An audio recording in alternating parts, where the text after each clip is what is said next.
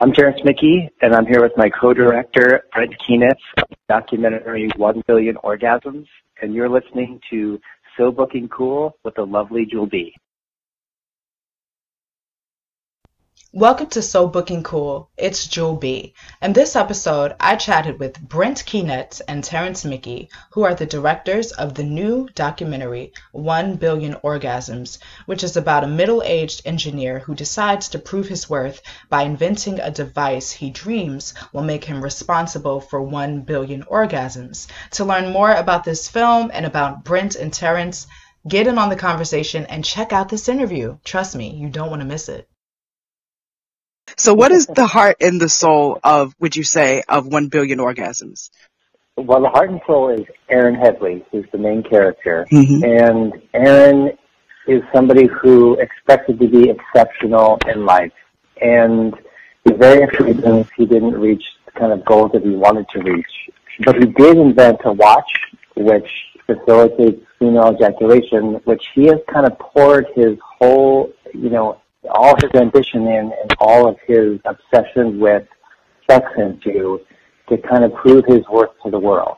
So it's really a very American state of the entrepreneur who's trying to change the world, and he puts all his money, resources, passion into this. So for Aaron, it's a very unconventional um, invention, to say the least. So I, something else that I have to ask is, does Aaron represent the phrase that it's never too late for someone to go after their dream? It's a great question, um, and uh, I think that story is still yet to be told. I think what uh, what Aaron's uh, story really represents is, um, to some extent, a reflection for all of us to think about what are our hopes and dreams, what do they mean to us, and why are we really pursuing them? And I think kind of uncovering, uh, you know, this kind of what on the surface is sort of um, you know, it's a, it's a great one-liner. I met a guy flying on an airplane who was trying to sell me a watch that, you know, triggered female ejaculation, and you kind of dismiss it as like, uh, wow, that's a crazy story. And it was the same. I met Aaron at our high school reunion. Aaron and I went to high school together, and uh, at our 20th reunion, out comes this move that he's now turned into a watch, and uh, and you know. Um, you kind of tend to look at these situations and, and sort of just throw them into a category of kind of extremely crazy or extremely odd or or you know whatever and what our movie really tries to do at its heart and soul is peel back the layers on that and help us understand how this one individual got to that place and then maybe you know spend a little bit of time reflecting on our hopes and dreams and what we're doing to uh, pursue our passions and uh, you know why we have those passions in the first place what are some important lessons that you think people who do want to start their own business or their own invention can learn from this documentary? That's a good question too. Um, there, there's a lot in here that I think people watch and they say, "Oh, I would have done it this way, or I would have done it that way, or mm-hmm. why doesn't he do this, or why doesn't?" I can I can see people all the time kind of chomping at the bit to give him instructions through the screen and uh, suggestions. So I think what people will see, uh, though, at the end of the day, is that as a, at a fundamental level, Aaron has such a uniquely unbridled passion, singular focus on spreading the word about this this move that he's discovered and has since turned into kind of measurable by a watch um, that that singular focus at its fundamental foundation is is absolutely uh, critical to having the wherewithal to keep going. Um, because what the movie does show also is you you you run into a lot of complications. Some of them, uh, you know, there's always bumps in the road in any journey, and uh, sometimes we're, we're we create our own obstacles as well, and all that kind of comes out of the out of the movie as well. Oh, I'm sorry, I lost the last part of what you said. Oh, I was just saying that um, we can see all these. Uh, in, in any endeavor, you run into a lot of uh, bumps in the road, and that's just life. Uh, um, and our movie certainly shows that, and it also uh, shows how some of those uh, bumps are uh, actually created by us ourselves. Um, so our movie kind of uh, kind of uncovers that, discovers that, and lets us kind of witness that in a real time uh, way with Aaron but at the end of the day, the one thing that keeps them going, I think, is just a singular commitment and a singular passion to spread the word about this news. Wow. So with this movie, then, um, did you structure like the footage based on the narrative that you wanted to tell, or do you get in, or does Aaron get in contact with you and say, hey, you know, you guys have to like include this? How how does that work? We had full control of the story that we were telling. So we followed Aaron for various parts of his life and various places that kind of went back to the lost footage. Um, and it's really, you know, you're overwhelmed by how much footage you have. Plus, he gave us all this archival footage of his family and his parents. So we had this really kind of complete life story. And in editing it, we were very aware that Aaron is somebody that's going to be very provocative and Mhm. very, um, you know, challenging for people and judge him very quickly. So we wanted to craft the narrative in a way that people could get into his life story um, in a way that they were empathetic towards him and compassionate towards him. And then we could take you on the journey to expose the, the many facets of him, like we all have many facets. And so by the end of the picture, you really have a fuller representation of him. And often people are very divided about how they feel. And we, we don't judge, we don't put any editorial um, cast on it. We just let you watch him on, you know, as he's doing what he's doing. And it leaves you, the audience, with a real question of like, how do I feel about this rather than how do the directors feel? And yeah, that it we did as we were going through the editing process. We we collected over 80 hours of footage in our first filming where we followed him to the AVN conference. So we had about three days of him preparing for the AVN Expo in Las Vegas, which is the adult video news uh, entertainment expo that takes place annually in Las Vegas, and it's a it's a big expo for people who've produced adult content, whether that's through toy, sex toys, or other sorts of adult content or adult-oriented uh, products to kind of take a booth and and and you know kind of market their invention or their wares or their services. So Aaron is one of those booth uh, managers. So he's taken out a booth and he's in Las Vegas. We follow that and we get all this footage, and that's uh, kind of a story. But we realized, you know, and, and a lot of things happen, and you know, it kind of takes you on a ride with twists and turns. But we realized that the what everybody wanted to know and what everybody wanted to understand at the end of watching cuts of that footage was who is this guy? Like, how did he Mhm. get to be the guy he became? Um, and that was, and, and it was, it was a great moment for Terence and me because um, we realized that's exactly what brought us into the story in the first place. It wasn't, we weren't, he didn't approach us, we approached him. We weren't looking to make a movie about a squirt watch, as he calls it, or about female ejaculation. We were really just intrigued by how does one individual become so singularly committed uh, to bringing this out into the world. And for the first almost decade of his time trying to bring this into the world and train people on how to do this, he didn't have a product to sell them. He was just offering training videos, pamphlets, brochures. He would even, you know, talk to you on the phone and help you understand how to do it.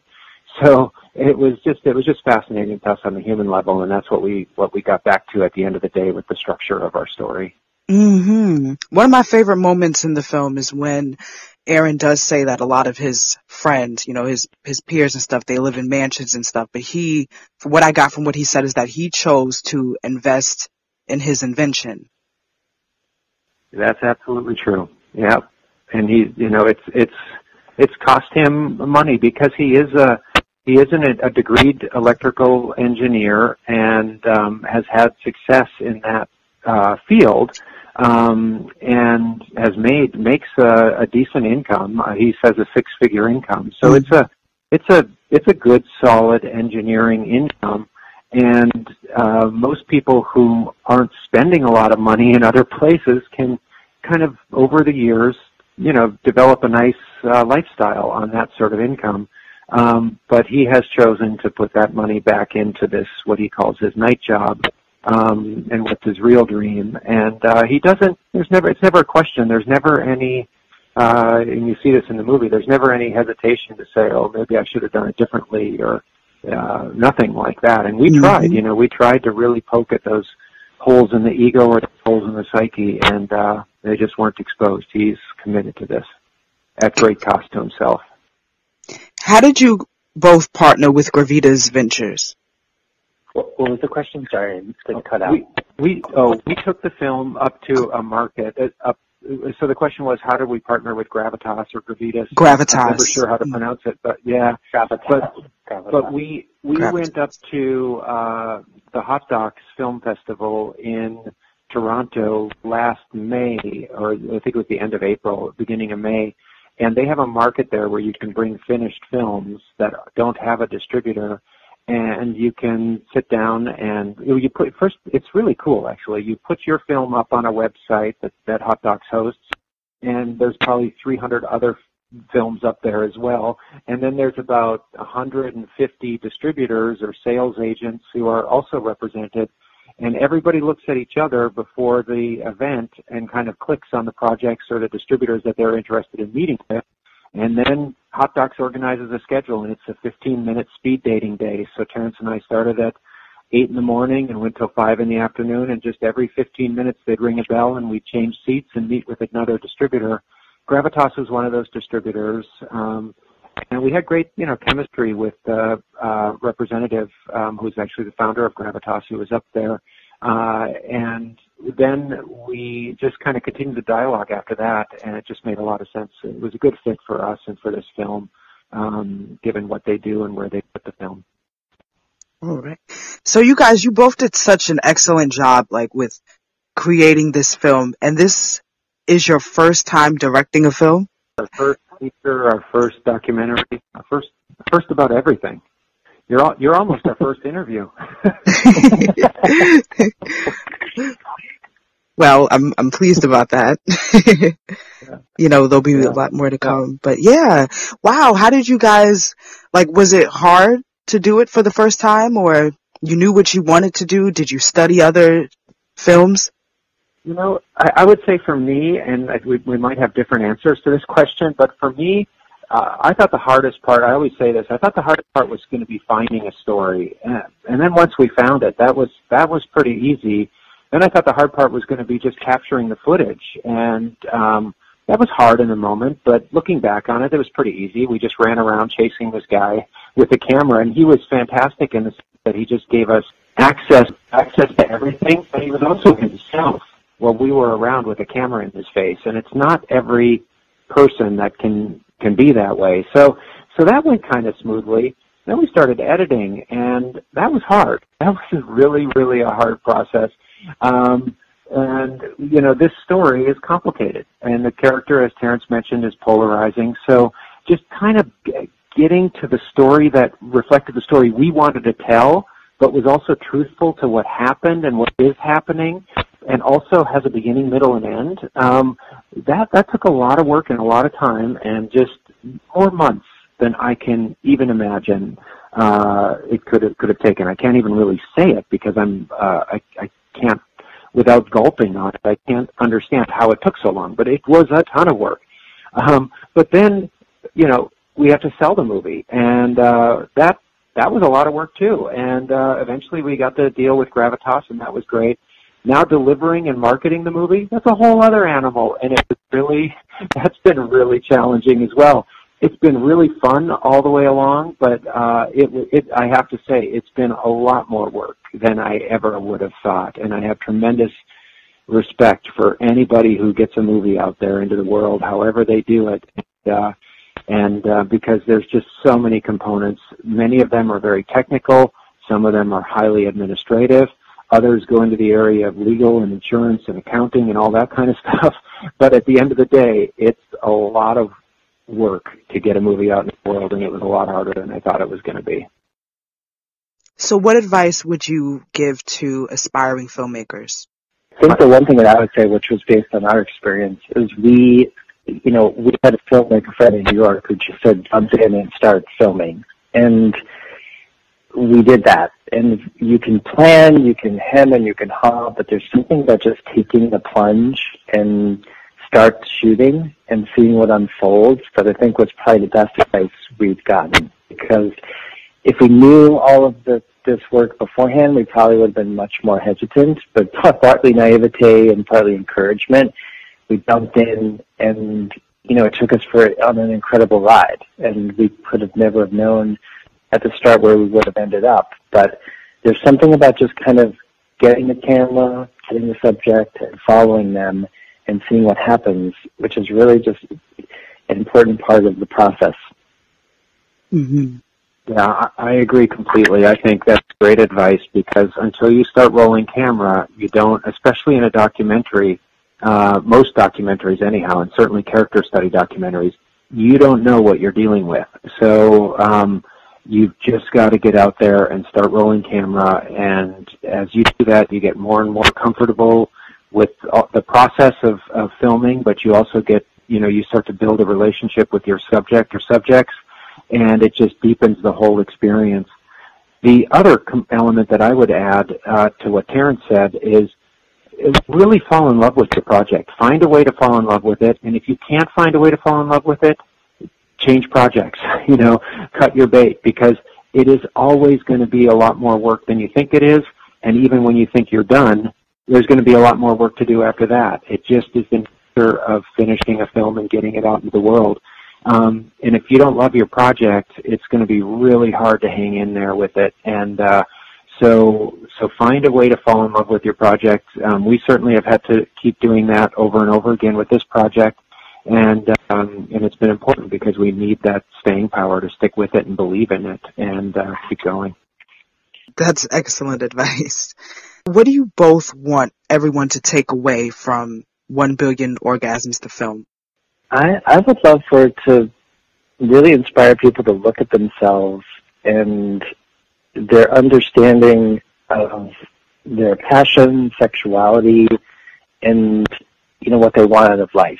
I think that you can look at Aaron's story and really begin to think about your own life and what weight do you put into, you know, sex, your intimacy, relationships, and you know, for me, just kind of following him and editing him, it really made me think about my own relationships, my own relationship to sex, and really, really think hard about what's healthy and what's what do I want for myself.